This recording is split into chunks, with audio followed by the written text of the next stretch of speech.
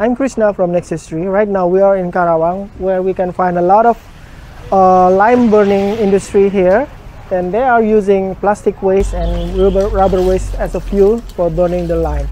And previously we also already took the samples of eggs, soil and ash and we and we're working together with Arnika to check the dioxins on that samples and we found that the high concentration of dioxins. I think the main benefits of the waste business, I think the industry, especially for example in this area in Karawang, there is like a pulp and paper industry.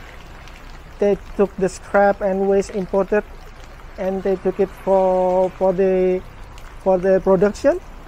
it's like a waste paper, but it's contaminated with plastic and the other uh, materials. And they took the paper, the waste paper, for their production, and they dump the residual and that's the residual that we use by the local people. For example in these lime facilities lime burning facilities they use that the plastic or the rubber for the fuel for the burning the lime.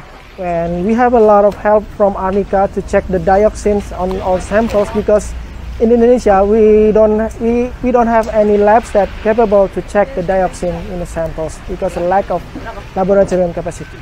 Yeah, actually, the government tried to reduce the percentage uh, contaminant allowed for imported in Indonesia, but sometimes in the field, in the realization, it's not just like the regulation written in the regulation because it's really hard to uh, determine how many percent of contaminant when they check randomly in the containers. Yeah, like I said before, we are uh, we have the lack of laboratorium capacities, and sometimes uh, the regulation is not good good enough. Some regulation, some regulation are already good, but if we learn from the other countries, especially from the European countries, we can learn about because I, we believe that in European countries they have like more advanced, especially in the waste management and also in environmental monitoring.